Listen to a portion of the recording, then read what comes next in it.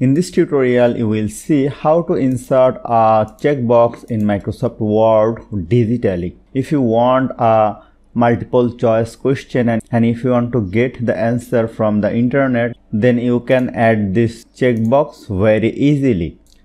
So to be an expert, watch the video till the end. Let's begin the topic. To add the checkbox, you have to activate the developer tab. If you don't find this developer tab in your Microsoft Word, just go to file, go to options, then the options pop-up window will be activated and here you will find an option that is customize ribbon make sure the main tab is activated then here let me click on the developer option and then click on ok as soon as you click on the OK button, the developer tab will appear over here. Now, if I want to insert the checkbox before the options, then click on over here, then click on the developer option and here you will find the checkbox content control then click on here. And if you want to paste the same checkbox for these three options then let me click on here and control C to copy and paste it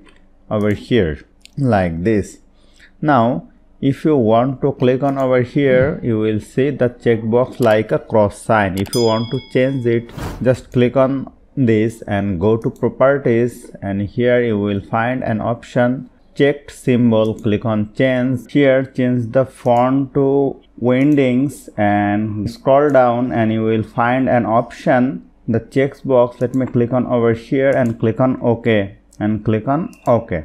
And you will see the checking symbol has been changed. But if you want to click on over here the checkbox symbol looking like the previous one. So before copying you have to change the symbol actually. Let me delete this three. Click select and click the delete button. Then uncheck this one. Select it. Ctrl c to copy and paste it over here like this. Now if you want to check it just click on over here. Then the checkbox will be changed. So hope you found this video helpful. If you like this video please share this video with your friends and family.